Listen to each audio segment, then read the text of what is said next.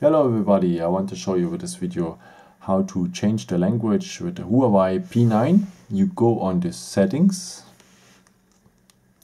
then you go down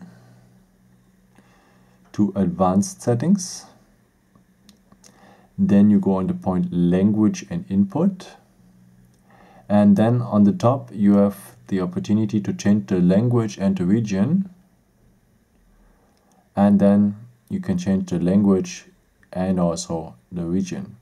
So let us change into the German language, Deutsch. And you see immediately you have changed the language. Yeah, I hope I could help you with this video and uh, if you want you can uh, give me a comment or give me a thumbs up and uh, I'm always happy about and yeah thanks for watching ciao